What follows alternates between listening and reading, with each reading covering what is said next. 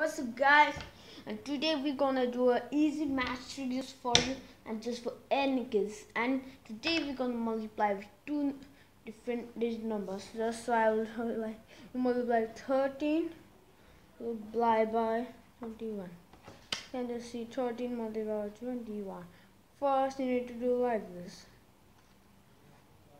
The first number should come like this and the second number come like this.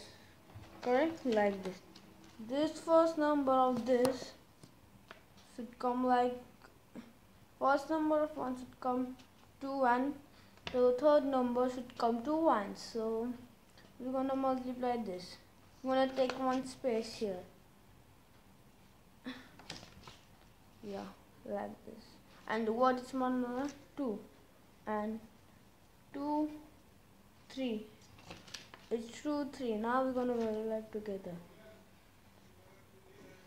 Now I'm gonna take this first number. 1 multiplied by is 1 and 3 multiplied by 2 is 6. What is 1 plus 6? We're gonna add it. We're gonna add the products together. 1 plus 6 equals to 7 and the answer is 2 7 so easy you just need a simple mind and just even mind to do this trick and I'm gonna I'm gonna check if it works. I'm gonna multiply these two numbers. So guys it might take a while